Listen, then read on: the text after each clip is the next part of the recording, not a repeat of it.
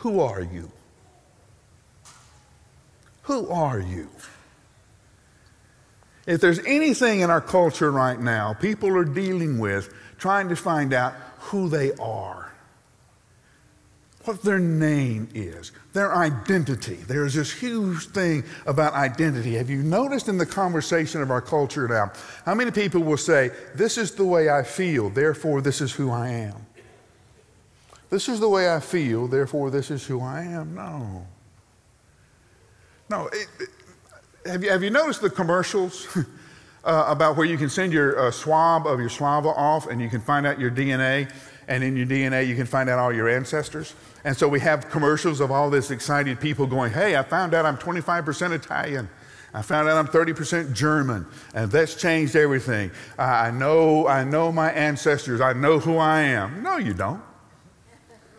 You know who all your ancestors may have been, but you don't know who you are. Uh, my dad never would do that. My dad never would do that ancestor stuff or DNA stuff. No, he said, the kinfolk I know scare me to death, he said. I don't, I don't want anybody else.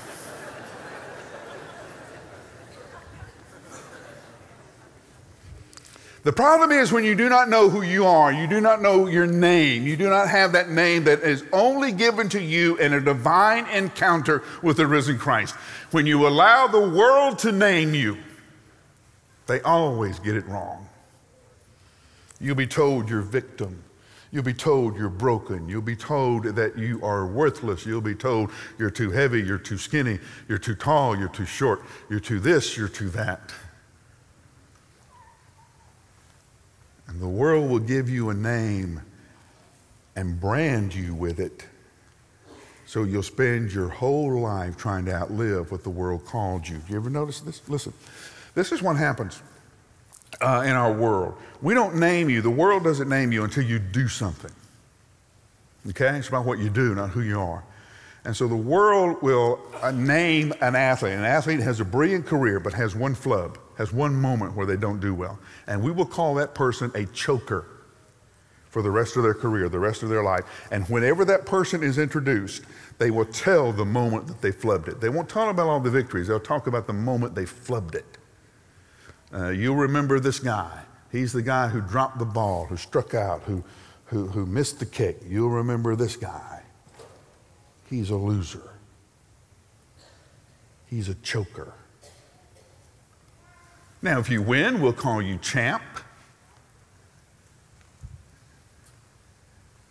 And you can carry those trophies around and we will call you champ. Do you know how many champions in our culture are miserable because they won a championship, but nobody loves them for who they are?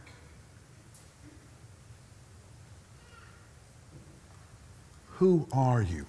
Did you notice how many times an encounter with Christ ends up with a name change? Uh, Abram becomes Abraham.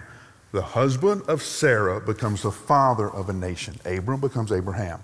Uh, Jacob becomes Israel, the one who wrestled with God. Uh, Simon becomes Peter. Saul becomes Paul. Now, let me tell you the interesting thing about when Jesus names you. He doesn't name you for what you have done, but who you will become. Not what you've done, but who you will become.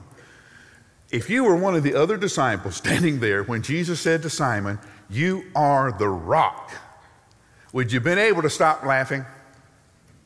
Nothing is worse than having to stop laughing in church, is it? Right? Something makes you giggle in church, it's the funniest thing ever. Can you imagine standing there next to Jesus and Jesus turns to Peter and goes, You're the rock? in what world? Oh, yeah, this rock, this Peter, this is the guy who promised Jesus, I will, I will give my life before anything happens to you. I will die before I let anybody touch you. And then he caves under the intense interrogation of a teenage girl. Oh, this is the rock that the church is going to be built on. And it was that same rock, recovered and restored, that stood in downtown Jerusalem and said, There is no other name given under heaven whereby men and women can be saved.